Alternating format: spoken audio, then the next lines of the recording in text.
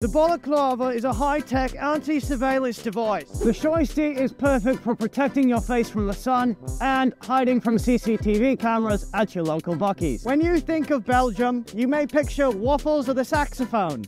But a quick look at their history also reveals they invented Christmas peace. One thing that people forget about Belgium is their fantastic balaclavas. These 80-20 wool polyester blend balaclavas work perfectly for many different purposes. They're issued to Belgian police and some people in the Air Force. Better yet, they're in stock at Americana Pipedream right now. I miss him so much.